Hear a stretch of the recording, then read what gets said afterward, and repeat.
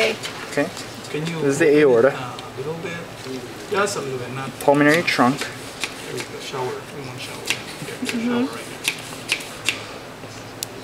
I think I'm overspray. The uh, epicardium. Is he's like drenched Right here, right here, inside. here.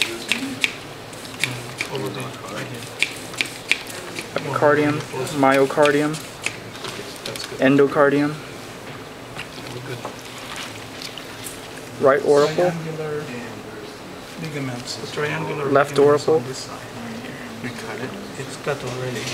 Which one is it attaching to? Pulmonary trunk. That's the hepatorenal ligament. And then uh, Isn't it?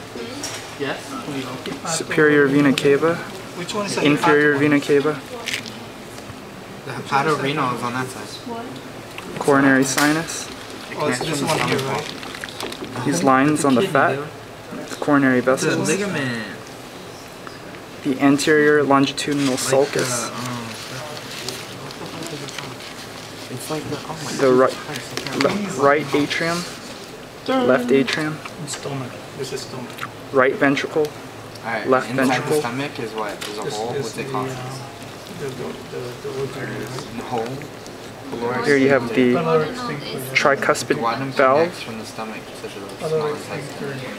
Connects the stomach to the small Pyloric sphincter. intestine. Right there. What's the duodenum again? This one right here. Bicuspid valve. And then the, the duodenum is which? Interventricular septum. Yeah, It says somewhere. Anywhere. Yeah. So GG. What's The that aortic clear, um, semilunar valve, And then which is deep inside the uh, the aorta. close to the colon. Which one is Little flaps of membrane in here.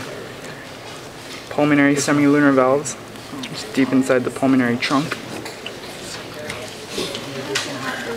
And then this is the, No, we're not um, going to. We're going to see if someone else this is the descending. Pectinate muscle, This is the ascending. trabeculae carneae, That's the ascending colon? papillary muscle, And I don't know this one here. Moderator band. Yeah. This is the chordae tendineae.